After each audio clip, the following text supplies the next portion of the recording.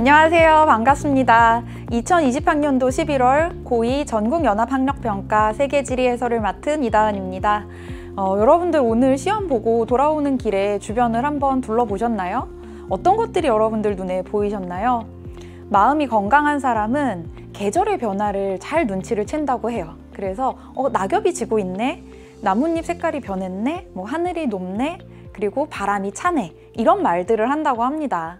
여러분들 이런 계절의 변화를 느끼셨다면 여러분들 마음이 굉장히 건강한 거예요.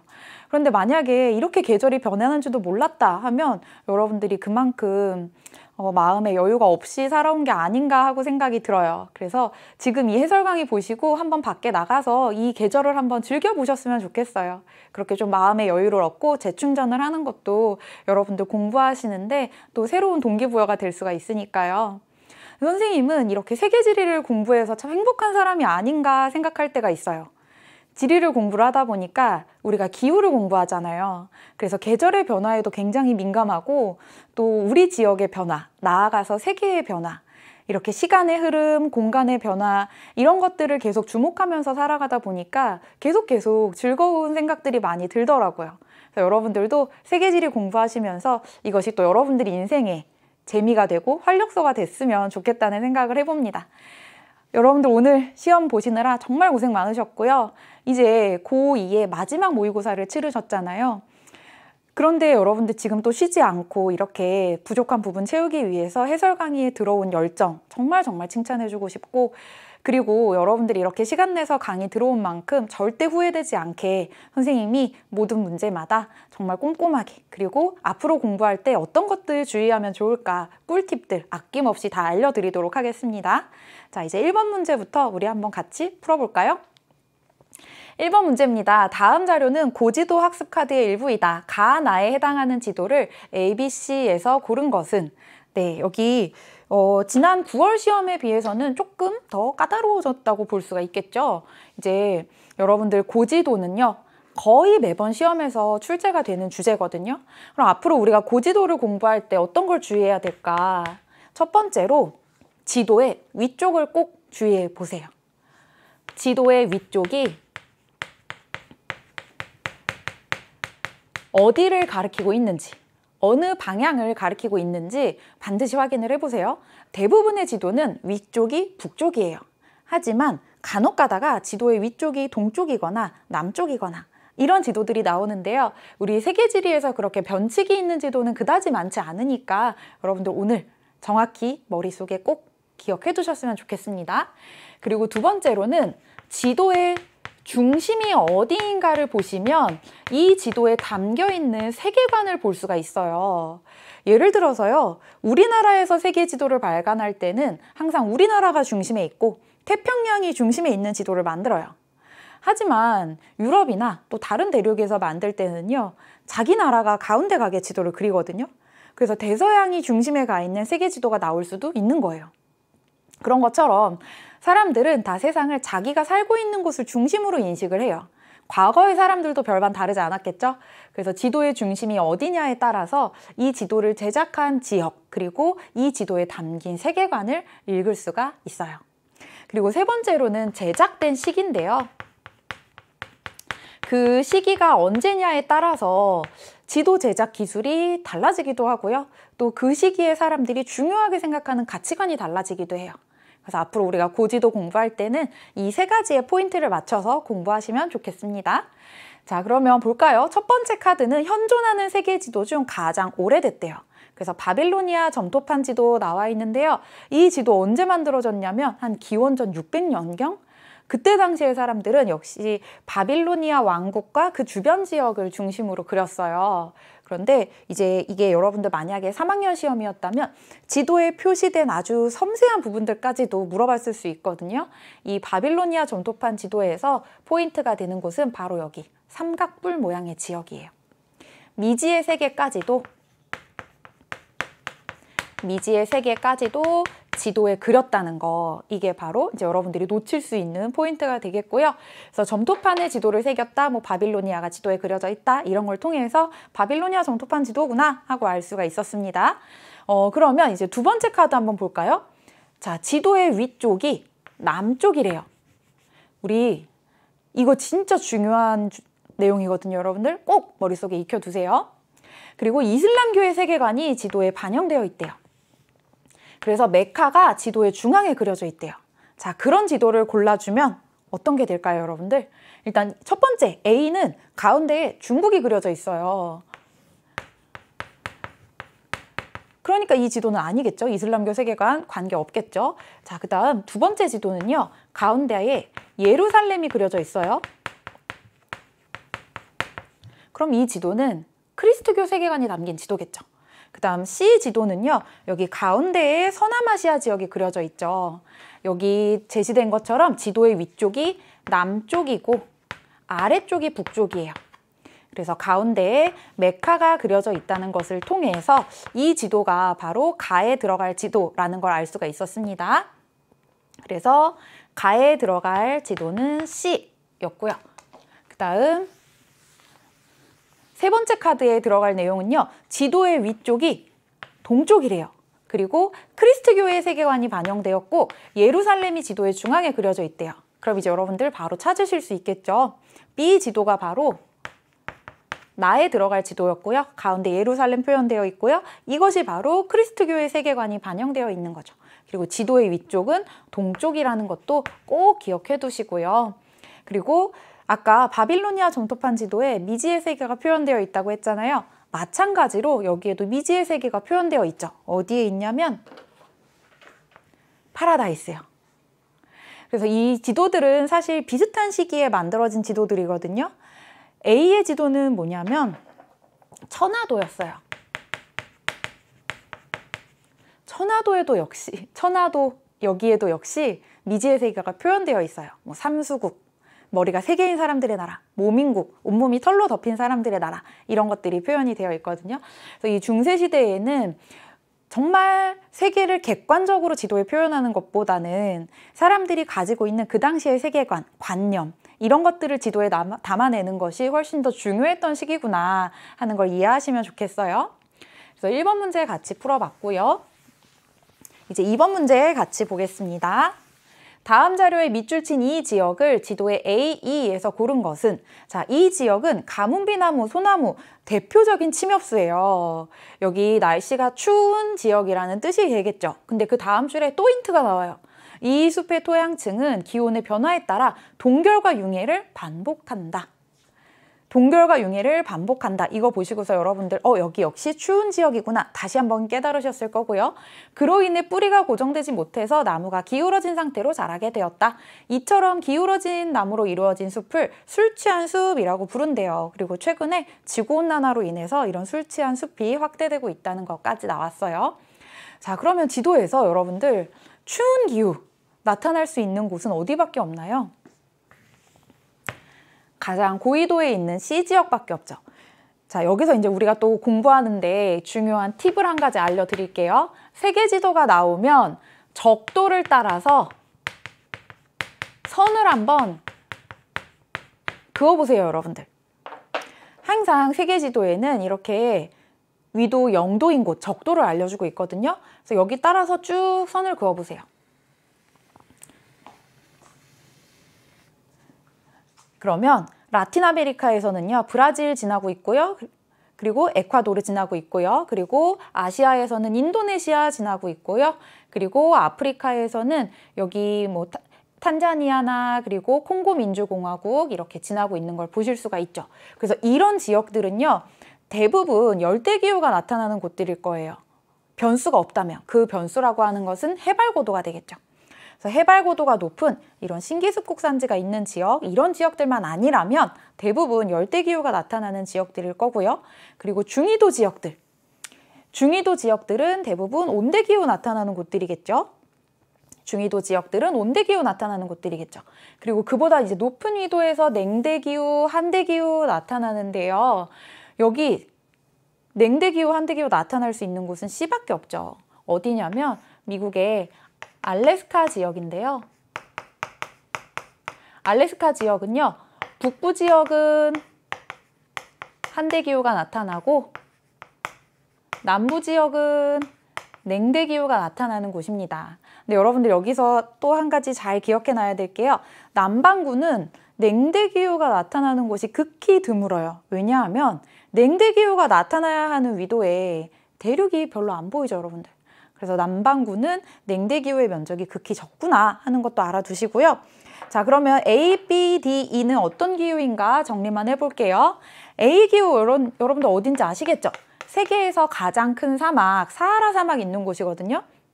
그래서 A는 건조 기후 중에서도 사막 기후였고요. 그리고 B도 역시 여러분들 여기 어딘지 아시죠? 키잘쿰 사막 이름까지 몰라도 괜찮아요. 하지만 여기 옆에 있는 호수가 이제 카스피해 아라레인데요. 여러분들 카스피해 아라레 특히 아라레 같은 경우에 사막화 문제가 굉장히 심각한 곳이라고 여러분들 알고 있잖아요. 그래서 이런 곳들을 여러분들이 좀 랜드마크로 점을 찍어두면 그 주변 지역이 어떤 기후구나 하는 거 유추를 해서라도 푸실 수가 있거든요.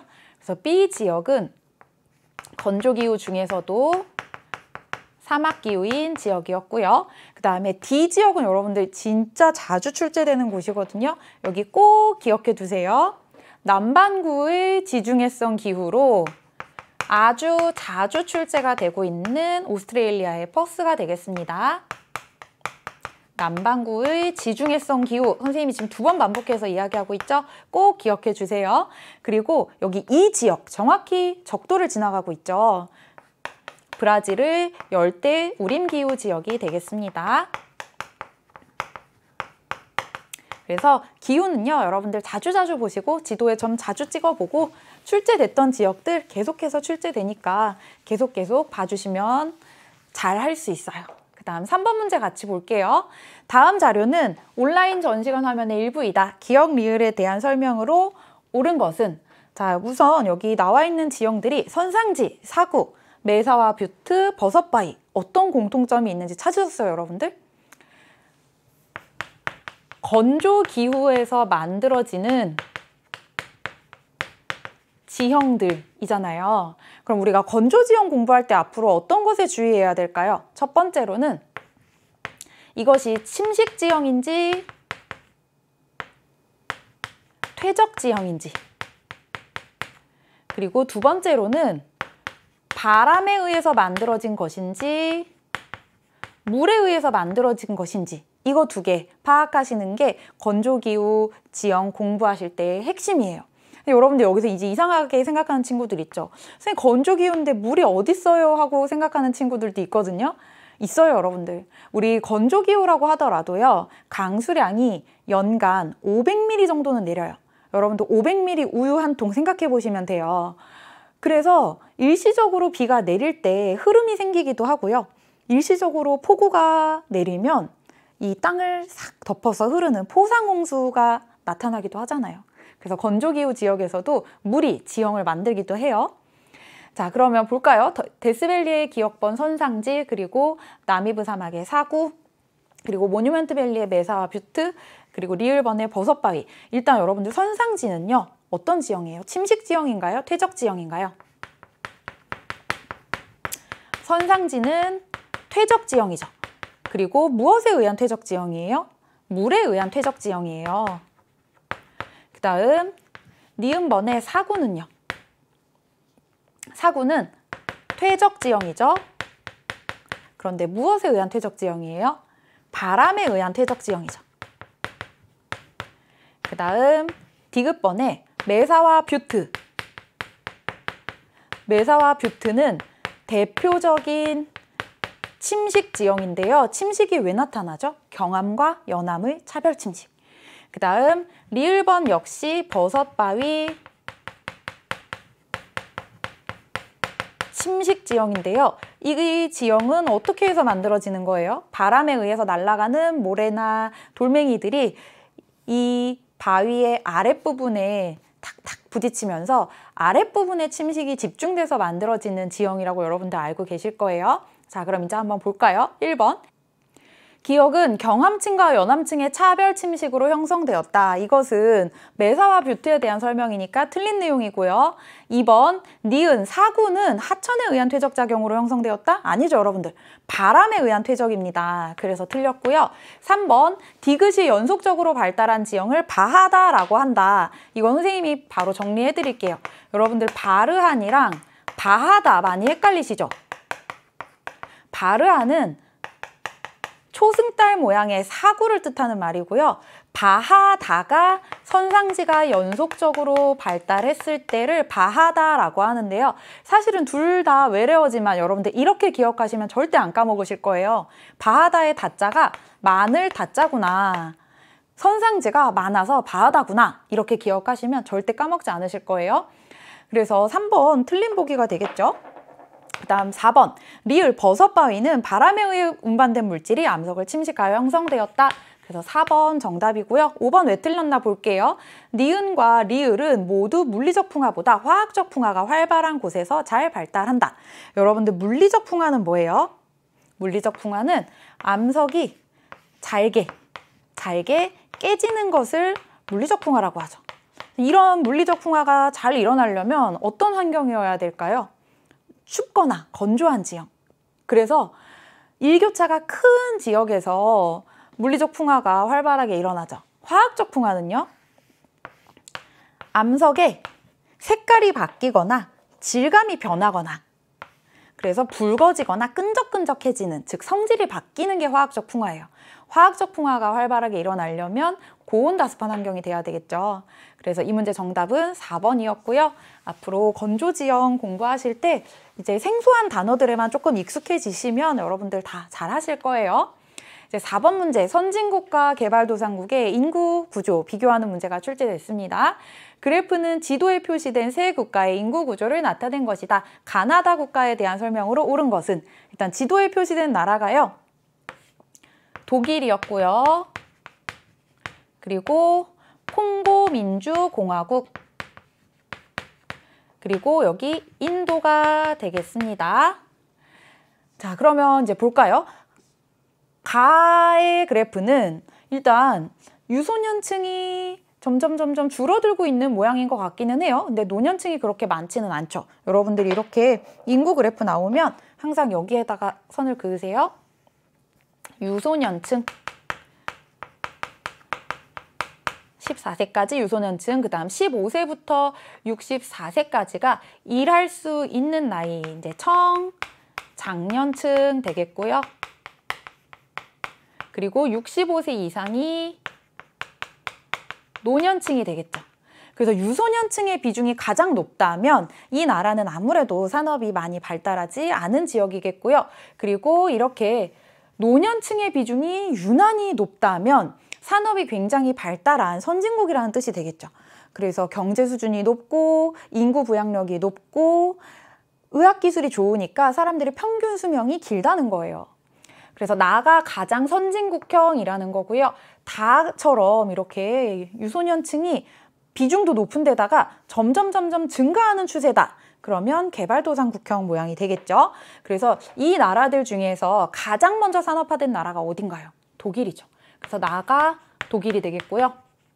그 다음 그 다음으로 산업이 발달한 곳 인도. 그래서 가가 인도 그리고 아프리카 대륙은 대부분 지금 전 세계에서 가장 높은 출산율 보이고 있잖아요. 그래서 다가 콩고 민주공화국 되겠습니다.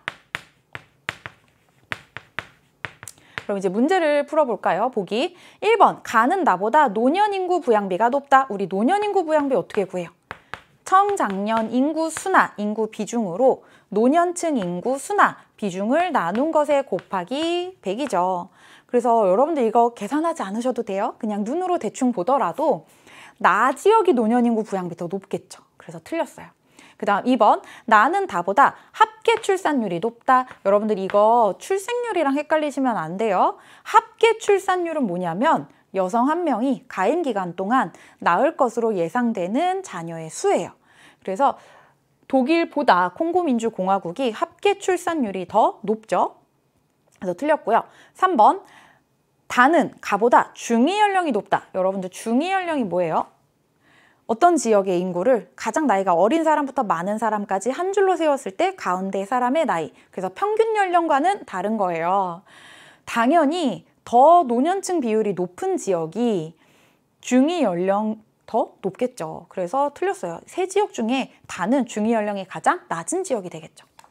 그 다음 4번 가나 다 중 총 인구는 다가 가장 많다 아니죠. 전 세계 2위의 인구 대국 인도가 있잖아요. 인도 현재 인구가 한 13억 명 정도 되는데요. 조만간 인구 대국 1위인 중국을 넘어서서 세계 최대의 인구 대국이 될 거라고 합니다. 그리고 5번 가나다 중 산업화 시작 시기는 나가 가장 이르다. 맞는 설명이 되겠네요. 그래서 정답 5번이었습니다. 이제 5번 문제로 같이 넘어가 볼게요. 그래프는 지도에 표시된 세 국가의 가축 사육 두수의 비율을 나타낸 것이다. 가나다 가축에 대한 옳은 설명만을 보기에서 고른 것은 단 가나다는 소, 양, 돼지 중 하나임. 또 지도에 어떤 나라들 표시되어 있나 볼게요. 여기 중국, 그리고 오스트레일리아, 그리고 브라질이 되겠습니다.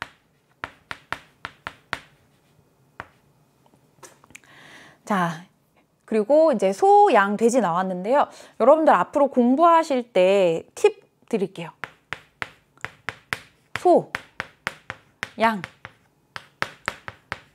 돼지. 어떤 나라에서 많이 키우고 있는지 이거는 좀 여러분들이 맥락을 이해하시면 좋을 것 같아요. 일단 소는요. 전 세계에서 가장 많은 두수를 사육하고 있는 나라가 브라질이에요. 그리고 그 다음이 인도예요. 인도는 힌두교의 영향으로 이제 소를 많이 키우죠. 그리고 그 다음으로 많은 곳이 기업적으로 농목업이 발달한 미국이 되겠고요. 양 같은 경우에는요, 이제 전 세계에서 가장 많이 키우는 곳이 중국이에요. 그 다음으로 많은 곳이 오스트레일리아. 오스트레일리아는 또 이런 양모를 가공한 상품들 수출하는 나라로도 유명하죠. 그리고 그 다음으로 많은 곳이 인도예요. 그 다음 돼지는 가장 많이 키우는 곳이 중국이에요. 아무래도 돼지는 대부분 식량 자원으로 사용이 되다 보니까 인구수가 가장 많은 나라에서 가장 많이 키우지 않겠어요? 네, 그리고 그 다음으로 많은 곳이요. 미국, 브라질이 되겠습니다. 그럼 여러분들 여기에서 어떻게 이제 기억을 하시냐면 소는 브라질이 압도적으로 많구나. 그리고 힌두교의 영향을 받은 인도가 많구나. 그리고 기업적인 농목업이 발달한 미국이 많구나. 양은 오스트레일리아 대부분이 건조 지역임에도 불구하고 키울 수 있다는 것은 당연히 양이겠죠. 그리고 돼지는요, 중국이요, 거의 전 세계 사육두수의 한 45% 정도를 차지하고 있거든요. 그래서 중국이 압도적으로 많이 키우고 있구나 하는 거 기억하시면 좋겠습니다. 자, 그러면 이제 한번 볼게요. 중국에서 가장 많이 키우는 가는 돼지겠죠. 그리고 오스트레일리아에서 가장 많이 키우는 나는 양이겠죠. 그리고 브라질에서 가장 많이 키우는 다는 소가 되겠네요. 우리 이것만 기억하고 있으면 다 풀 수 있는 문제였어요. 기억번, 가는 건조기후 지역에서 유목의 형태로 사육된다? 아니죠. 돼지는 수변한 기후 지역에서 키우기에 적합한 동물이고 그래서 건조 지역에서는 이슬람교에서 돼지를 금기시하기도 했죠. 그 다음 니은 번 나의 털은 모직공업의 주 원료로 이용된다. 맞는 설명이고요.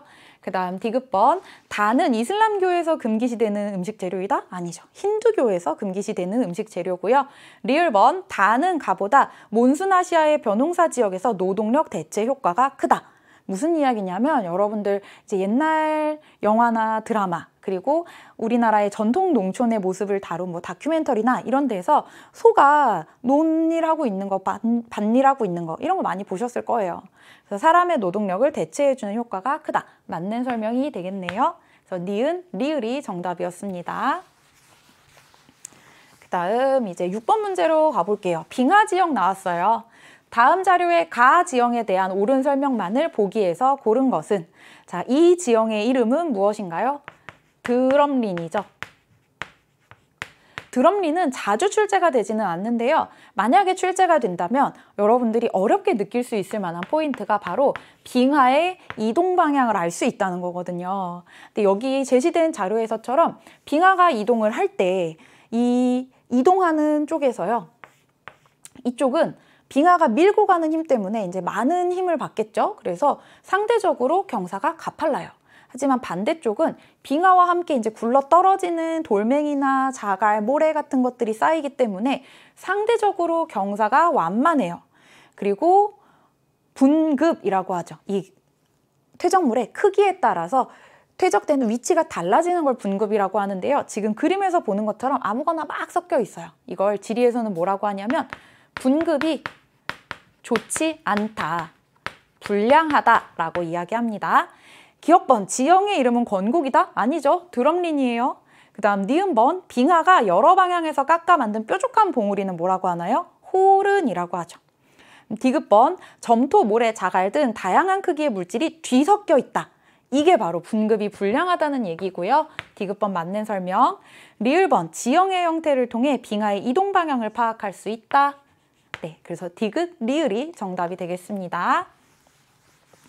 그 다음 7번 문제 같이 볼게요. 표에 가나다에 해당하는 국가를 지도의 ABC에서 고른 것은? 자, 지도의 A 어딘지 여러분들 아시겠나요? 인도 오른쪽에 있는 나라죠. 여기 전 세계에서 가수량 가장 많은 지역이라고도 이야기하잖아요. A는 방글라데시였고요. 그 다음 B는 여러분들 어딘지 아시겠죠? 일본이었고요. 그리고 C는 이렇게 유럽과 아시아를 연결해주는 길목에 있었기 때문에 일찍부터 중개무역이 발달하고 지금은 세계 최대의 이슬람교 신자 수를 가지고 있는 인도네시아가 되겠습니다. 그래서 세 지역의 1차 산업, 2차 산업, 3차 산업 비율 그리고 국내 총생산을 가지고서 어느 지역인지 찾아내는 문제였어요. 여러분들 당연히 3차 산업 비중이 가장 높고 국내 총 생산 가장 많은 거 보고서 어, 다는 이 일본이구나 찾아내는 건 어렵지 않았을 거예요. 그런데 가랑 나를 구분하기가 조금은 여러분들 까다로웠을 수 있거든요. 가 지역은 일단 1차 산업이 더 비중이 높고요. 그리고 국내 총생산은 더 적어요. 나 지역은 가 지역에 비해서 2차 산업, 3차 산업의 비중이 더 높고 국내 총생산도 더 많죠. 이럴 때 여러분들이 이제 어떻게 접근을 하시는 게 좋으냐면 뭐 이 두 지역 간에 어디가 더 먼저 산업이 발달됐나 따져보시는 것도 좋지만 정말 단순하게 인구 수로 비교해 보셔도 괜찮아요. 단 산업의 발달 수준이 비슷한 계층이라면 당연히 일본처럼 산업이 굉장히 많이 발달한 지역이다라고 한다면 압도적으로 국내 총생산이 높겠죠. 일본은 인구가 한 1억 2천만 명 정도 되는데 국내 총생산이 이 정도고요. 이제 두 지역은 우리가 알기에 둘 다 개발도상국의 지위라고 알고 있잖아요. 그러면 두 지역 중에서 인구가 더 많은 곳이 국내 총생산이 더 많지 않겠어요? 인도네시아는요, 무려 인구가 2억 한 7천만 정도예요. 그래서 우리나라도 요즘에 인도네시아에 주목을 하고 있거든요. 그리고 방글라데시 같은 경우에는 인구가 한 1억 6천만 정도예요. 물론 1억 6천만도 굉장히 많지만 2억 7천만이 훨씬 더 많죠. 그래서 나가 C의 인도네시아 그리고 가가 A의 방글라데시, 방글라데시가 되는 문제였습니다. 그 다음 8번 문제 같이 볼게요.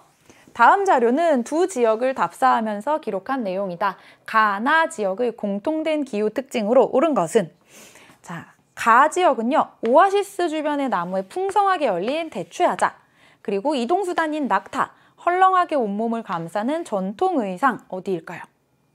건조기후 지역에서도 사막 지역이겠고요. 나는 어디일까요? 일단 이동식 전통가옥 보이고 있고요. 키가 작은 풀이 자라는 초원에서 유목되고 있는 가축 떼 그리고 설치와 해체가 용이한 이동식 가옥 건조기후 중에서도 조금 더 강수량이 있는 그래서 초원이 형성되는 곳 스텝 기후에 대한 설명이었습니다. 1번 계절풍의 영향을 강하게 받는다. 아니죠. 이런 지역들은 계절풍의 영향과는 크게 상관이 없어요. 계절풍과 관련이 있는 곳은 어디냐면요. 여러분들 여기서 또 팁이 나갑니다. 여러분들 당연히 계절풍 하면 이름에 계절풍이라는 뜻이 들어가 있는 열대 몬순만 생각하실 거예요. 그런데 온대 기후에도 계절풍 기후가 있죠. 그래서 여러분들 계절풍의 영향을 강하게 받는다? 열대 몬순 지역뿐만 아니라 온대 지역의 몬순 지역도 있고요. 그래서 몬순아시아 지역 이라고 기억을 해주시면 좋겠어요. 그 다음 2번 거의 매일 대류성 강수가 나타난다? 아니죠. 대류성 강수가 거의 매일 나타나는 곳은 열대 우림 기후고요. 3번 진짜 중요한 보기 나왔어요, 여러분들. 여기서 또 우리가 공부하는 팁이 하나 나갑니다.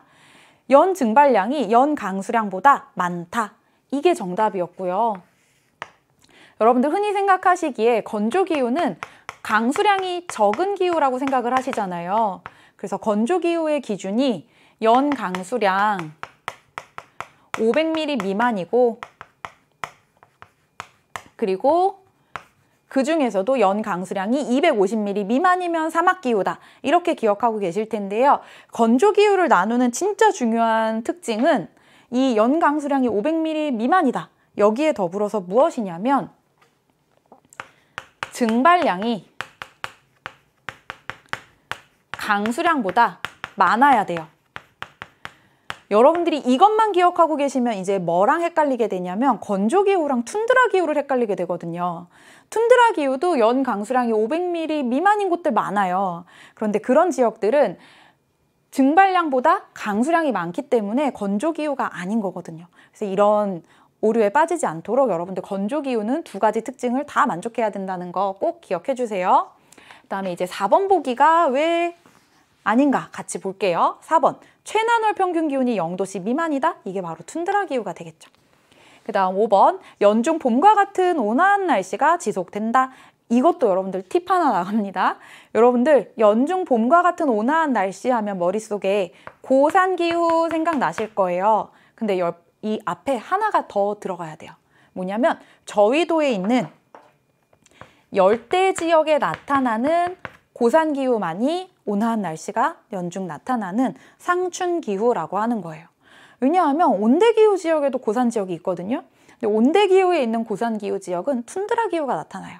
그래서 이런 중요한 부분들 놓치지 말고 꼭 체크해 주세요. 이제 9번 문제로 넘어가 볼게요. 다음 글은 여행기의 일부이다. 기억 리을에 대한 옳은 설명만을 보기에서 고른 것은 하와이 섬에 가까워지자 하와이 섬은 우리가 알고 있는 대표적인 화산섬이죠. 그래서 완만한 경사의 화산이 나타났대요. 완만한 경사의 화산, 순상 화산 이야기하고 있고요. 그래서 보기 한번 볼까요? 기억은 점성이 큰 용암이 분출하여 형성되었다. 여러분들 점성이 크면 이것이 멀리까지 이동할 수 있을까요? 아니죠. 점성이 크면 그 자리에서 굳어지면서 용암돔이 될 거예요.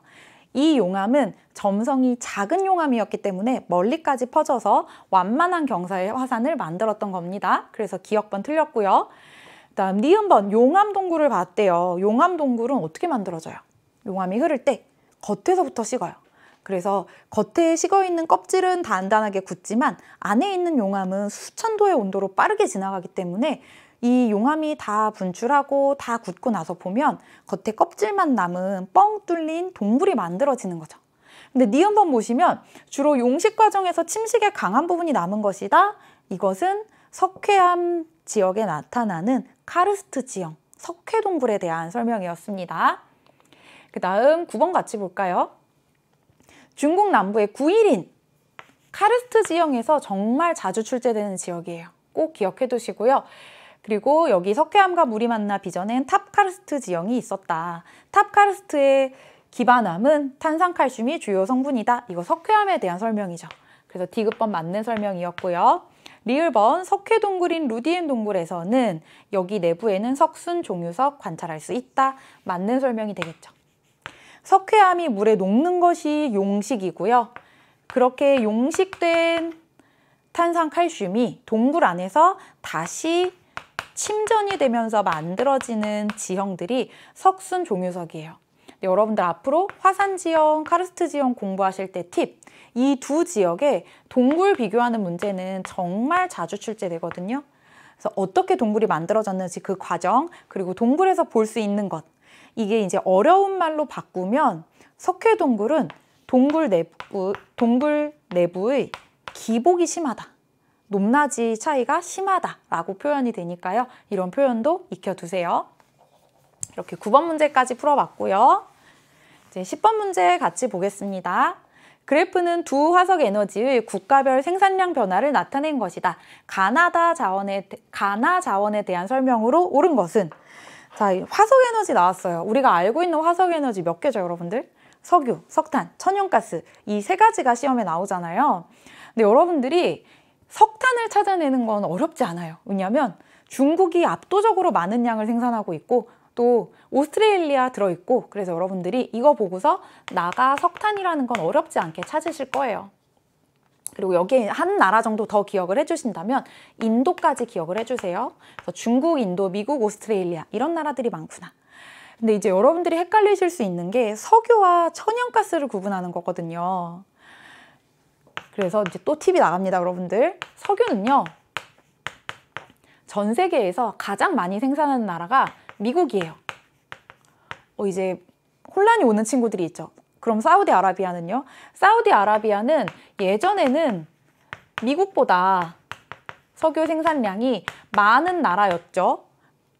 그런데 이제 미국이 국제 석유 가격의 상승 이런 거와 이제 자원의 고갈과 맞물려서 오일 샌드 그리고 셰일 오일 이런 비전통 석유를 개발하게 돼요. 그러면서 이제는 미국이 전 세계 최대의 산유국으로 등장을 하게 됐어요. 그래서 미국, 사우디아라비아, 러시아 이런 나라들에서 많이 생산이 되고 있고요. 근데 천연가스도요. 미국, 러시아가 많아요. 그럼 이제 여러분들이 자료를 보고서 이게 석유인지 천연가스인지 찾기가 힘들어지겠죠. 그래서 선생님이 꿀팁을 알려드릴게요.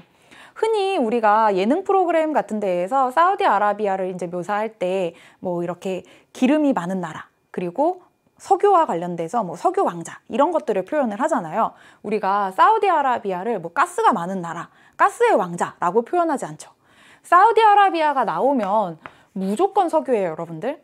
하지만 이제 여러분들이 헷갈리면 안 되는 거 그렇다고 석유의 생산 1위가 사우디아라비아는 아니라는 거죠. 그러면 천연가스는 여러분들이 어디를 보고 골라내시면 되냐면 이란이랑 카타르요. 그래프에서 이란이나 카타르가 나오면 천연가스구나 하는 거 요게 여러분들 화석에너지에서 골라내는 포인트라는 거 꼭 기억하세요. 자 그러면 간은 어디일까요? 사우디아라비아 나왔죠? 석유겠네요. 1번 간은 고기조산대에 주로 매장되어 있다? 아니죠. 신기조산대에 주로 매장되어 있다. 그 다음 2번 간은 산업혁명 시기에 주요 동력원으로 사용되었다. 산업혁명과 관련 있는 것은 나의 석탄이죠. 그 다음 3번 나는 화석에너지 중 대기오염 배출량이 가장 많죠. 가장 적은 것은 뭘까요 그러면? 천연가스죠. 그 다음 4번 보기 간은 나보다 운송용 연료로 사용되는 비중이 높다. 이게 정답이 되겠네요. 이제 여기서 흔히 의문을 품는 친구들이 있어요. 선생님 근데 산업혁명 초기에는 석탄으로 철도가 움직였잖아요. 물론 맞죠. 산업혁명 시기에. 그래서 이 산업혁명 시기라는 단어가 나오면 석탄이에요. 그런데 지금 현재 운송용 연료로 가장 사용되는 비중이 높은 것은 석유가 되겠습니다. 그 다음 5번 나는 가보다 세계 에너지 소비량에서 차지하는 비중이 높다. 전 세계 에너지 소비량에서 차지하는 비중이 가장 높은 것은 석유입니다. 이 문제 정답 4번이었고요. 이제 11번 문제 같이 볼게요. 다음 글의 가나다에 해당하는 국가를 지도의 ABC에서 고른 것은 자 이제 여기에서 또 한 가지 팁을 드릴게요. 여러분들 전 세계에서 대륙이 넓은 순서는 한번 기억해 두시면 좋을 것 같아요. 첫 번째로 대륙이 넓은 대륙의 면적이 첫 번째로 넓은 나라는요. 얼마나 땅덩어리가 넓으면 시간대를 무려 11개의 시차를 사용한다고 해요. 11개의 시차라는 것에서 눈치챈 친구들이 있을 것 같은데요. 러시아예요. 러시아 다음으로 면적이 넓은 나라가 어디냐면 캐나다예요. 그 다음이 미국이에요. 이제 여기서 당황하는 친구들 있죠. 어, 선생님 그럼 중국은요? 중국은 그 다음이에요. 그리고 이제 또 당황하는 친구들 있죠. 어, 선생님 브라질이 전 세계의 허파라고 불릴 만큼 열대우림이 넓다면서요. 맞아요. 그래서 중국 다음이 브라질이 되겠습니다. 그래서 여러분들 한번 이 온라인 위성 지도 같은 거 여러분들도 얼마든지 들어가서 보실 수 있으니까요. 대륙별로, 나라별로 면적 한번 비교해 보셔도 좋을 것 같아요. 그래서 캐나다가 생각보다 면적이 넓은 나라입니다. 그것만 가지고도 사실 여기에서 캐나다 찾아낼 수가 있는데요. 이 북아메리카 자유무역협정은요. 이제 줄여서 약자로 나프타라고 하죠. 그래서 나프타 체결 이후 국가들의 변화를 서술해 놨어요. 근데 이 국가는 세 국가 중 국토가 가장 넓은 국가고 자원 산업이 강점이래요. 그리고 천연 자원을 바탕으로 수출이 증가되었다. 그래서 가에 해당하는 나라는 바로 A의 캐나다였고요. 그 다음 나와 관련된 나라 찾아볼까요? 세 국가 중에서 인구가 가장 많대요. 미국이겠죠. 그리고 일부 제품을 저렴한 가격에 구매할 수 있게 되었지만 국내 공장들이 남부 국경지대를 넘어 마킬라도라로 이전하면서 제조업 일부가 감소하였다. 이것과 관련 있는 곳은 지도의 B, 미국이 되겠고요. 마킬라도라가 바로 미국과 멕시코의 접경지대에 만들어진 공업지대를 뜻하죠.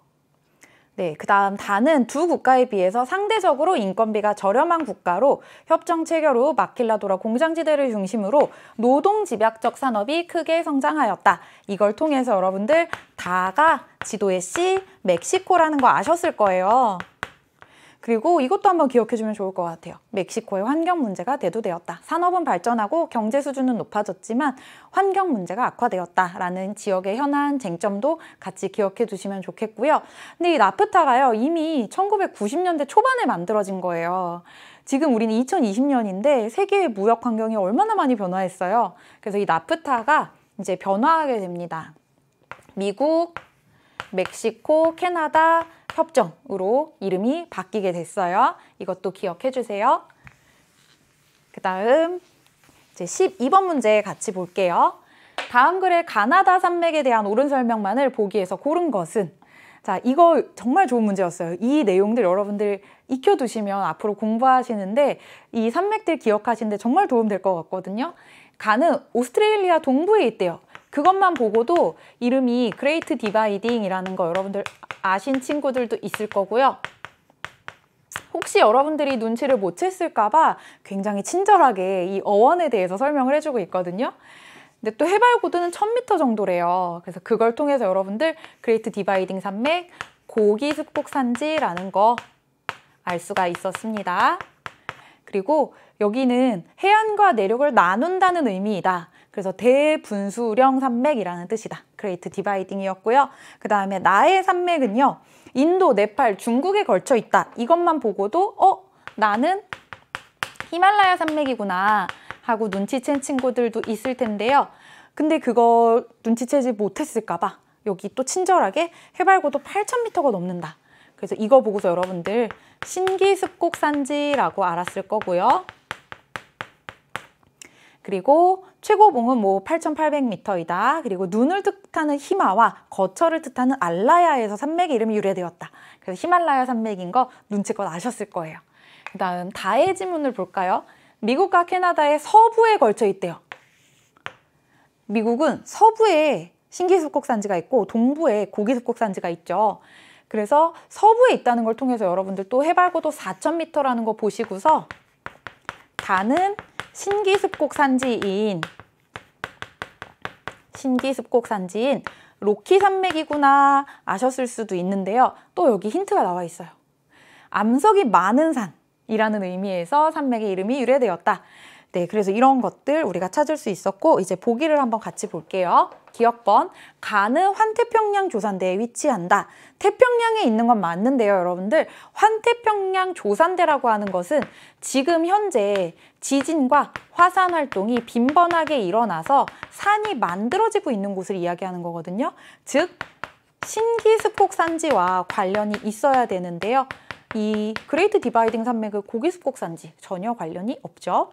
그 다음 니은 번 나는 대륙판과 대륙판의 충돌로 형성되었다. 맞아요. 여기서 이제 또 팁이 나갑니다, 여러분들. 여기에다 써주세요. 히말라야 산맥은요. 당연히 대륙판과 대륙판의 충돌로 만들어졌기 때문에 지진은 굉장히 활발한데요. 근데 여기 아까 여러분들 보셨죠? 최고봉의 높이가 8,800m. 이 마그마가 뚫고 올라올 수가 없어요. 그래서 화산 활동은 굉장히 미약하다는 거 반드시 기억해 놓으세요. 언젠가 꼭 출제됩니다. 그 다음 디귿번 가는 나보다 형성 시기가 늦다 아니죠. 고기습곡산지 먼저 만들어졌죠. 그 다음 리을번 다는 가보다 지각이 불안정하여 지진 활동이 활발하다 당연하죠. 신기습곡 산지니까요. 그래서 정답 니은 리을이 되겠네요. 그래서 12번 이제 세계의 대지형 다룬 문제 우리가 같이 봤고요. 13번 문제는 세계 도시를 다룬 문제예요. 다음 자료는 세계 도시 가나다의 계층 체계를 나타낸 것이다. 이에 대한 옳은 설명만을 보기에서 고른 것은 자 세계 도시에서 일단 가계층의 도시는 전 세계에 3개밖에 없어요. 이걸 통해서 여러분들이 가가 최상위 세계 도시이구나 라는 거 알 수가 있고요. 나 단계의 도시들은 가 단계의 도시들보다는 많아요. 그래서 얘가 상위 세계 도시이구나 라는 거 알 수가 있겠고요. 다 단계의 도시들은 가장 숫자가 많습니다. 그래서 이걸 통해서 하위 세계 도시구나 하고 아셨을 거예요. 그래서 세계 도시 중에 최상위 세계 도시는요. 전 세계에 그 영향력이 미치는 도시라고 생각을 하시면 돼요. 우리 뉴욕의 증시가 오르락 내리락 하는 게 우리나라에까지 영향을 미치잖아요. 최상위 세계 도시는 전 세계에 딱 세 개예요. 어디냐면 유럽의 어디일까요, 여러분들? 런던이고요. 아시아의 어디죠? 도쿄. 그 다음 아메리카의 뉴욕. 이렇게 세 군데가 있고요. 그 다음 상위 세계 도시는요. 이 대륙들, 즉 유럽에 있는 상위 세계 도시면 유럽 대륙 안에서, 아시아에 있는 상위 세계 도시면 아시아 안에서 중심이 되는 지역들이라고 생각을 하시면 돼요. 하위 세계 도시는 뭐냐면 그 지역, 그 국가에서 중심이 되는 도시들이라고 생각하면 돼요. 자, 그러면 여러분들 여기서 이제 또 팁을 한 가지 알려드릴 건데요. 우리 계층 체계라고 하는 거는 시스템이에요. 뭐냐면 이 단계들 간에 위계가 있다는 거거든요. 어, 고차 중심지들은 많은 기능을 수행하겠죠? 그래서 그 숫자가 적어요. 숫자가 적은 이유가 많은 기능을 수행해야 되기 때문인데요. 그래서 기능은 다양합니다. 그리고 기능이 다양한가를 묻는 가장 전형적인 질문은 뭐냐면 이곳에 생산자 서비스업이 있느냐 생산자 서비스업의 비중이 높으냐 하는 것이 자주 출제가 되고 있고요. 그리고 또 한 가지 숫자가 적다 보니까 같은 계층에 동일 계층에 있는 도시 간의 거리는 멀 수밖에 없겠죠. 여러분들 이게 뭐냐면요. 여러분들 교실에 세명이 있다고 생각을 해보세요. 교실 안에 세명이 똑같은 간격으로 있을 때 그 친구들 사이의 거리는 멀겠죠. 하지만 교실 안에 서른 명의 친구들이 있다고 생각을 해보세요. 그러면 친구들 간의 거리는 좁아지겠죠. 그런 거라고 생각을 하시면 돼요. 그래서 기억번 A는 유럽, B는 아메리카에 위치한다. 맞는 설명이죠. 그 다음 니은번 가는 다보다 생산자 서비스업 종사자 비율이 높다. 최상위 세계 도시의 특징이 바로 아까 선생님이 기능이 많다라는 거 이야기하기 위해서 이런 걸 물어본다고 했죠. 그래서 니은 번 맞는 설명이 되겠고요. 디귿 번 나는 다보다 도시의 수가 적죠. 그리고 리을 번 다는 가보다 가장 인접한 동일 계층의 세계 도시 간 평균 거리가 가깝겠죠. 도시의 숫자가 많으니까요. 그래서 정답은 기억 니은이 되겠네요. 이렇게 세계 도시 체계도 우리가 간단하게 정리를 해봤고요. 14번 문제입니다. 그래프는 지도에 표시된 세 지역의 기후 특성을 나타낸 것이다. 가나다 지역을 지도의 ABC에서 고른 것은 여러분 이 문제도 진짜 좋은 문제였어요. 그리고 자주 출제되는 곳 세 군데가 딱 나왔고요. 우리 앞으로 기후 공부할 때 여러분들 주의하셔야 될 것이 북반구와 남반구를 먼저 찾아주자는 거예요. 그럼 북반구와 남반구를 어떻게 찾을까요? 한 해에 가장 더운 계절이 6월, 7월, 8월에 있으면 북반구고요. 한 해 중에 가장 더운 계절이 뭐 11월, 12월, 1월 이런 데에 있으면 남반구가 되겠죠. 그래서 봤을 때요. 일단 어, A 지역 어디냐면 런던이죠. 그리고 런던은 어떤 기후의 대표적인 지역으로 많이 출제가 되냐면 서한 해양성 기후 지역이요. 그리고 여러분들 B는 그리스 남부의 아테네죠. 여기 있는 바다 이름이 뭐예요, 여러분들? 지중해죠. 그래서 전형적인 지중해성 기후 지역으로 자주 출제가 되는 지역이고요. 그 다음 C 어딘지 여러분들 아시겠나요? 남아프리카 공화국의 케이프타운. 선생님도 꼭 가보고 싶은 곳 중에 하나인데요. 언제 가볼 수 있을까요, 이제? 그래서 케이프타운 같은 경우에는요. 역시 지중해성 기후 지역으로 자주 출제가 돼요. 그럼 우리가 이 둘을 어떻게 구분을 하죠? 하나는 북반구의 지중해성 기후 지역이고 하나는 남반구의 지중해성 기후 지역이라는 거. 그래서 아까 선생님이 강조했던 게 기후 문제 나오면 북반구인지 남반구인지부터 구분하자고 했어요. 그러면 우리 그래프에서 한번 구분을 같이 해보도록 할게요. 자, 일단 가지역은 7월 평균 기온이 25도 이상이고요. 1월 평균 기온이 10도 정도. 그래서 얘는 북반구 지역이구나. 알 수가 있었고요.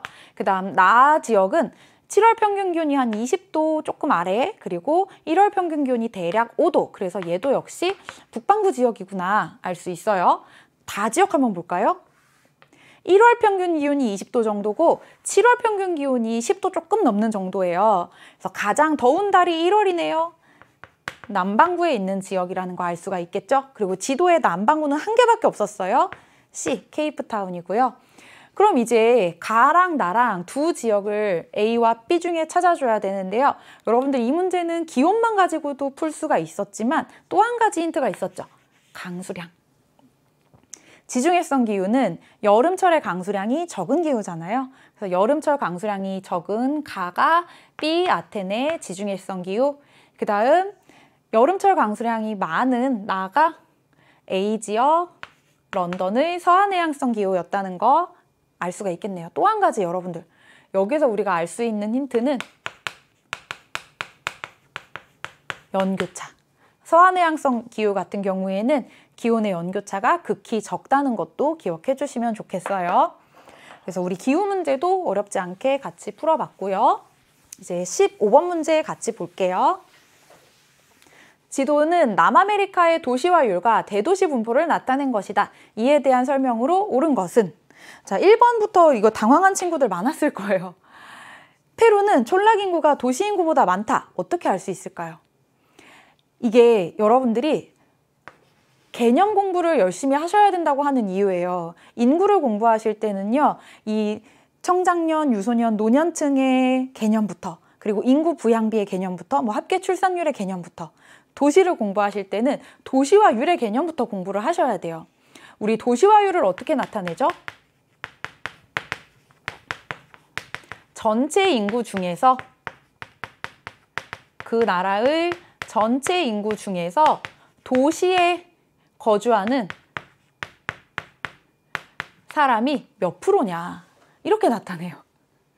자 그렇다는 것은 도시화율이 50%를 넘었다면 도시화율이 50%를 넘었다면 이 지역은 도시 인구가 촌락 인구보다 많다는 뜻이 되겠네요. 그리고 두 번째로 문제에서 기호도 안 주고 그냥 페루, 아르헨티나 이렇게 물어보고 있어요. 그래서 선생님이 총평에서 말씀드렸던 지역을 중심으로 공부해야 된다 말씀드렸던 이유가 이런 거거든요. 이 지도에서 여러분들 페루가 어딘지 알고 아르헨티나가 어딘지 알아야 문제를 풀 수가 있겠죠. 자, 페루 여기입니다, 여러분들.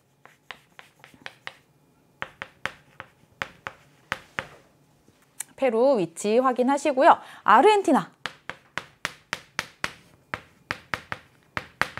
아르헨티나 탱고의 나라죠. 그래서 보시면 여러분들 1번 페루는 촌락 인구가 도시 인구보다 많다. 페루는 지금 도시화율이 75% 이상이니까 도시 인구가 더 많은 나라죠. 그 다음 2번 아르헨티나에서는 종주 도시화 현상이 나타난다. 역시 또 기본 개념을 잘 알고 있는가 묻는 질문이 나왔어요. 종주 도시화 현상은 뭐냐면 그 나라의 1위 도시의 인구 수가 2위 도시 인구의 두배 이상일 때 너무 과도하게 수혜 도시에 집중이 되고 있죠. 이것을 종주 도시화라고 하는데요. 어떻게 알 수 있을까요? 이 지도에서 가장 인구가 많은 곳 여기가 바로 1위 도시, 수위 도시가 되겠죠. 근데 나머지 도시들은 이 인구의 절반도 안 되는 거 보이시죠? 그래서 종주 도시화 현상이 나타난다는 거 맞는 보기였고요. 그 다음 3번 인구 천만 명 이상의 도시는 해안보다 내륙 쪽에 많이 분포한다. 인구 천만 명 이상의 대도시는 해안 지역에 많이 분포하고 있어요. 왜냐하면 식민 지배의 영향 때문이죠. 식민 지배를 했던 유럽 국가들이 이 해안 지역부터 내륙 지역으로 점차 점차 진출을 해나갔기 때문에 그리고 특히 뭐 자원의 수탈 이런 데 용이한 해안 지역을 중심으로 도시를 건설했기 때문에 해안 지역에 대도시가 많은 것을 보실 수가 있고요. 4번도 역시 마찬가지예요. 유럽에서 오다 보니까 대서양 쪽에 대도시가 더 많이 분포하고 있는 거 보실 수가 있습니다. 그래서 4번도 틀렸고요. 5번 인구 100만 명 이상의 도시가 가장 많이 분포하는 국가의 도시화율은 75% 미만이다? 아니죠. 대부분의 나라들이 도시화율 75% 이상인 것을 보실 수가 있어요. 그래서 이 나라의 경제 수준에 비해서 너무 과도하게 도시화가 이루어진 것을 과도시화라고 합니다. 아 진짜 기본 개념 공부 열심히 해야 되겠구나 선생님 말이 틀리지 않았구나 하는 거 여러분들 이 문제 푸시면서 느끼셨을 거라고 생각을 해요 여기서 이제 또 우리 공부하는 팁 하나 알려드릴게요 여러분들 여기 있는 인구 천만 명 이상의 대도시라고 찍혀 있는 곳들은 꼭 도시를 알아두시면 좋겠습니다 여기는 어디냐면요 콜롬비아의 수도 보고타가 되겠고요 대표적인 열대 고산기후 지역이죠 그 다음에 여기도 알아두시면 좋겠, 좋겠어요. 페루의 수도인 리마고요. 리마는요, 막 통계에 따르면 연 강수량이 뭐 10mm도 안 된다고 하거든요. 대표적인 사막 기후 지역이고요. 그 다음에 여기 아르헨티나의 수도인 부에노스아이레스. 그럼 이제 여러분들이 이거 보시고서 어 여기도 브라질의 수도인가요? 생각하실 수가 있는데 아니에요. 브라질 같은 경우에는요. 리우데자네이루와 리우데자네이루와 상파울루인데요. 이 지역들이 아까 이야기한 것처럼 이제 식민지 개발이 되면서 과도시화가 됐죠. 그래서 균형 발전을 위해서 도시는 내륙 지역에 있는 브라질리아에 만들었어요. 그래서 이런 도시들은 정말 자주 출제되는 곳들이니까 위치 반드시 익혀주세요. 이렇게 우리 15번 문제 같이 정리해 봤고요. 16번 문제 볼게요. 기후 그래프 가나다에 해당하는 지역을 지도의 ABC에서 고른 것은 이 문제도 정말 좋은 문제였고요. 진짜 자주 출제되는 곳들이거든요. 여러분들 꼭 익혀두시고요. 선생님이 아까 말씀드렸죠. 세계 지도가 나오면 우리 뭐부터 하자고요? 적도선부터 그어보자 그랬죠. 한번 그어볼까요? 적도선. 위도 0도인 곳 적도 쭉 그어보시고요. 그러면 A, B, C가 다 지금 열대기후 지역이라는 거 아실 수가 있겠죠? 그런데 A 지역은 여기 세계에서 가장 긴 산맥, 안데스 산맥 있잖아요. 그래서 A 지역 같은 경우에는요. 1년 내내 온도가 10도, 12도, 뭐 13도, 14도 이 정도 봄 같은 날씨가 나타나는 고산 기후 지역 찾으실 수가 있고요. 여기는 어디였냐면 에콰도르의 수도인 키토였어요. 여러분들 음, 에콰도르라는 말이 에스파냐어로 적도를 뜻하거든요. 에콰도르의 수도 키토 고산기후 꼭 기억해 두시고요. 그 다음 나 지역이랑 이제 다 지역이 나와 있, 있는데요. 나 지역은 1년 내내 강수량이 대체로 많고 다 지역은 비가 많이 오는 계절과 적게 오는 계절이 뚜렷하게 나누어지고 있죠. 그래서 이걸 통해서 조금 더 적도에 가까운 B 지역이 바로 열대 우림기후 지역이구나. 열대 우림기후 지역 B도 여러분들 꼭 알아두세요. 아주 자주 출제가 되는 키산간이고요. 콩고 민주공화국의 키산간이 그리고 C도 정말 자주 출제되는데요. 남반구의 사바나 기후로 자주 출제되는 탄자니아의 다르에스 살람. 적도에서 좀 비껴서 나가 있는 거 보이시죠? 그래서 열대 우림을 둘러싸고 나타나는 사바나 기후구나 하는 거 알 수가 있고요. 그리고 이것이 남반구의 그래프이구나 하고 알 수 있는 거. 가장 따뜻한 달이 1월이고 추운 달이 그나마 춥다고 하는 달이 6월, 7월, 8월이구나. 이걸 통해서 남반구 그래프라는 거 아실 수가 있었을 거예요. 그래서 16번 문제도 우리가 간단하게 풀어봤어요. 이제 17번 문제, 종교를 다룬 문제 보겠습니다. 다음은 두 종교의 특징을 비교한 체크리스트의 일부이다. 가나 종교를 그래프의 AD에서 고른 것은 단 AD는 불교, 힌두교, 이슬람교, 크리스트교 중 하나임. 자, 여러분들이 많이들 헷갈려 하는 게 바로 이슬람교가 보편 종교인가 민족 종교인가 하는 거거든요. 근데 이슬람교는요, 여러분들 보편 종교예요. 그랬기 때문에 이 이슬람교가 발원지가 아닌 기원지가 아닌 인도네시아나 말레이시아 지역까지도 전파될 수가 있었던 거겠죠. 그래서 가의 보편 종교이면서 서남아시아에서 기원했고 둥, 첨탑과 둥근 지붕이 있는 모스크가 있다. 이걸 통해서 가가 이슬람교라는 거 알 수가 있고요. 나는 민족 종교예요. 즉, 이 종교가 만들어지는데 그 민족, 그 지역만의 특색이 무언가가 반영이 됐다는 거거든요. 그렇다는 건 다른 지역으로 퍼져나가기는 조금 어려웠을 수 있겠구나 하는 거 이해해 주시고요. 남부아시아 지역에서부터 기원을 했어요. 그리고 다양한 신들, 다신교라는 거 통해서 나는 힌두교라는 거 아실 수 있을 거예요. 그 다음에 여러분들 전 세계 종교 신자 수가 차지하는 비중 이거 진짜 간단한데요. 글자 수대로예요. 크리스트교 글자 수 제일 길죠. 가장 많은 비중을 차지하고 있는 것이 크리스트교가 되겠고요. 그 다음 B는 그 다음으로 글자 수가 긴 이슬람교 그리고 세 번째로는 그 다음으로 글자 수가 긴 힌두교 그리고 D는 글자 수가 가장 짧은 불교가 되겠습니다. 서, 선생님이 여러분들 기억하기 쉬우라고 이렇게 글자 수로 말씀을 드렸지만요. 사실은 이게 전파된 맥락이 다 있죠. 크리스토교 같은 경우에는 유럽 지역의 정치 경제에 근간이 될 만큼 아주 중요한 종교였고 유럽의 식민 지 배와 함께 전파됐어요. 그렇기 때문에 전 세계에서 가장 신자 수가 많은 거고요. 이슬람교 같은 경우에는 서남아시아 지역에서 발원을 했어요. 기원을 했어요. 그런데 서남아시아 지역이 인구 자체가 많은 국가들이 아니죠. 그래서 이 이슬람교가 어디로까지 이제 전파가 되냐면 말레이시아, 인도네시아. 그래서 이제 이슬람교가 인도네시아, 말레이시아까지 전파가 됐기 때문에 두 번째로 인구 비중이 많아요. 그리고 힌두교는요, 사실 많은 나라에서 신봉하는 종교는 아니지만 전 세계에서 인구 2위인 인도의 대다수의 사람들이 믿는 종교죠. 그래서 그 다음으로 신자 수가 많고요. 불교 같은 경우에는 어, 보편 종교이지만 기원지인 인도에서조차 쇠퇴했던 종교예요. 그래서 인근 지역, 아시아 지역에서 주로 믿는 사람들이 있고요. 그래서 가장 비중이 낮다는 거 기억하시면 좋겠네요. 자, 그래서 우리 17번 문제도 같이 풀어봤어요. 이제 18번 문제가 바로 입지 선정하는 GIS 문제가 되겠고요. 이런 문제는 어떻게 접근을 하시냐면 그냥 하나씩 조건대로 지워 나가시면 돼요. 그리고 A, B, C, D 나와 있는 지역들은 정말 중요하니까 여러분들 꼭 찾아보셨으면 좋겠어요. 꼭 여러분들이 지도에서 스스로 찾아보셔야 기억을 할 수가 있어요. 물론 여러분들 시간을 아껴드리기 위해서 선생님이 지금 알려드릴 건데요. 꼭 여러분들 지도에서 찾아보세요. A는 어딜까요?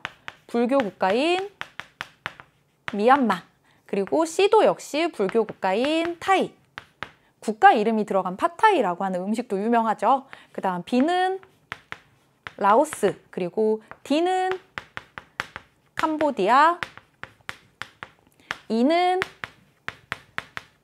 베트남이 되겠네요. 자, 인구 만 명당 의사 수가 7명 미만이어야 된대요. 그러면 7명 이상인 곳 지워주면 되겠죠. 그래서 지금 베트남 지워졌고요. 타이가 지워졌어요. 그 다음 유소년 인구 비율에서 30% 이상이어야 된대요. 그러면 나머지 지역들 중에서 미얀마가 사라지겠죠. 그리고 남은 곳은 라오스랑 캄보디아인데요. 1인당 국내 총생산이 2,000달러 미만이어야 된대요. 그러면 또 라오스가 지어지네요. 그래서 남은 것은 캄보디아밖에 없어요. 그래서 정답 4번이 되겠고요. 그 다음 19번 문제 같이 볼게요. 다음 자료의 AD 지형에 대한 옳은 설명만을 보기에서 고른 것은 자 여기 지금 다양한 해안 지형들 나와 있는데요. 해안 지형들은 이제 여러분들 어떻게 공부하시는지 팁을 드릴게요. 이것이 침식 지형인지 퇴적 지형인지 그리고 뭔가 이렇게 해안선이 복잡한 곳이 있다면 조금 더 자글자글하고 섬이 많은 것이 하천의 영향을 받아서 만들어진 리아스 해안이고요. 그리고 계곡이 깊이 들어가 있다 하면 훨씬 더 침식력이 강한 빙하의 영향을 받은 피오르라는 거. 요 정도 기억하시면 되겠어요. 자, A 같은 경우에는요. 이렇게 해안선이 굽어져 있으면 바닷물 방향이 이렇게 휘어지면서 속도가 느려져요. 속도가 느려지면 퇴적이 일어나겠죠. 그렇게 물질이 쌓여서 만들어진 A, 모래기둥 사주라고 합니다. 그 다음 B 같은 경우에는요. 이 세계지도에서의 위치를 잘 보세요, 여러분들. 자주 출제되거든요. 열대, 아열대 지역에 산호충이 죽어서 퇴적이 돼서 만들어진 B, 전 세계에서 가장 손꼽는 산호초 해안인 대보초 해안이거든요. 그래서 B는 산호초 해안의 모습을 나타낸 거고요. 어, 물고기들의 서식처가 되기 때문에 아주 중요한 가치를 가진다고 할 수 있겠어요. 그 다음 C 지역은요. 여러분들 여기 알려줬어요. 갯벌이라고. 근데 만약에 지형도에서 이렇게 나왔는데 여기가 뭔지 모르겠다 하시면 해안선 바깥쪽으로 퇴적이 이루어져 있으면 갯벌이고요. 해안선 안쪽으로 퇴적이 이루어져 있으면 사빈이에요. 어쨌든 이 지도는 갯벌인 걸 알려줬고요. 그 다음 D는 다른 지역들에 비해서 계곡이 굉장히 깊은 거 여러분들 보이시죠? 그래서 D는 빙하의 침식을 받아서 만들어진 피오르 지형이라는 거 기억하시면 되겠어요. 기억번 A는 주로 파랑의 침식 작용으로 형성되었다. 아니죠. 퇴적으로 형성이 됐습니다. 파랑과 연안류의 퇴적으로 형성되었다. 니은번 B는 석회질유의 퇴적으로 형성된 산호초 해안이다. 맞는 설명이고요. 그다음 디귿번 C는 주로 조류에 의한 퇴적으로 형성되었다. 그렇죠. 갯벌이 형성이 되는 데는 밀물과 썰물의 흐름, 조류가 중요한 역할을 했죠. 그다음 리을번 D는 하천에 의해 침식된 골짜기에 바닷물이 들어와 형성된 리아스해안이다? 아니죠. 빙하에 의해 형성된 골짜기에 바닷물이 들어와 형성된 피오르 해안이다. 그래서 정답은 니은 디귿이 되겠습니다. 자, 이제 우리 오늘의 마지막 문제 남았으니까 여러분들 힘내서 마지막 문제까지 같이 풀어볼게요. 20번 다음 자료의 가에 해당하는 지역을 지도의 A, E에서 고른 것은 어, 여기 보시면 포탈라궁 이야기 나와 있고요. 티베트 민족에 대한 이야기 나와 있어요. 그래서 지도에서 티베트 자치족 살고 있는 지역을 골라주시면 되는데요. 여기 중국의 소수민족 지도가 나와 있죠. 중국은 대부분의 한족과 이제 많은 소수민족들이 살고 있는 나라인데요. 아무래도 이제 강제적으로 뭐 병합이 되고 동화가 된 지역들도 있고 중국 정부에서는 계속해서 이제 동화 정책들을 펴고 있습니다. 또 그 중에는 분리 독립을 주장하는 민족들도 있고요. 자, A는 어디냐면 위구르족들이 살고 있는 신장 위구르 자치구 지역이고요. 여기 위구르족 인권 탄압과 관련해서 또 문제가 되고 있는 지역이기도 한데요. 어, 위구르족의 대부분은 이제 터키에서 넘어온 투르크계 민족들이 많고요. 그렇다 보니 종교에 있어서도 이슬람교의 특징이 나타나요. 그리고 이 지도에서 B 지역이 바로 이 문제의 정답이었던 티베트 민족이 살고 있는 시장 자치족, 시장 자치구가 되겠죠. 여기가 바로 티베트 민족이 살고 있는 곳이고요. 이 B 지역과 관련해서 키워드는 뭐가 있냐면 칭짱철도, 이 지역에 이제 동부 지역과 연결해주는 철도가 연결이 되면서 개발이 가속화되고 한족의 이주가 늘어나고 있다. 이런 것들이 자주 출제가 되고요. 그 다음 C 지역은 어디냐면 네이몽구 자치구, 몽골족이 살고 있는 곳이고요. 네이몽구라는 말이 우리나라 말로 네몽골이 되겠습니다. 그리고 D 지역은 많이 출제가 되는 곳은 아니지만 후이족이라고 해서요. 주로 이슬람교 믿는 사람들의 비중이 높고요. 이 지역도 여러분들 좀 잘 알아두시면 좋을 것 같아요. 왜냐하면 면적으로 봤을 때는 이런 지역들이 훨씬 더 커 보이지만 가장 많은 인구수를 자랑하는 소수민족은 바로 이예요. 광시 장족 자치구. 그래서 매년 이제 사라져가는 전통 문화를 계승하기 위한 행사도 열고 있다고 하거든요. 이 문제의 정답은 B번이었지만 우리가 다양한 소수민족들의 삶을 또 존중할 수 있는 그런 계기로 공부를 해보셨으면 좋겠다는 생각이 드네요. 자, 여러분들 진짜 고생 많으셨습니다. 이렇게 긴 해설 강의까지 들으시고 여러분들은 정말 무엇을 하더라도 성공할 친구들이라고 생각이 들어요. 그리고 이제 세계지리 공부하는데 와 기본 개념, 원리 이해하는 게 정말 중요하구나 해설 강의 통해서 여러분들 깨달으셨다면 이제 수능 과목으로 세계지리 공부하실 계획이라면 이제 선생님이랑 같이 수능 개념 공부하시면서 기본기부터 탄탄하게 단단하게 다져 나가셨으면 좋겠습니다. 오늘도 정말 고생 많으셨어요. 힘내세요, 여러분들. 고생 많았습니다.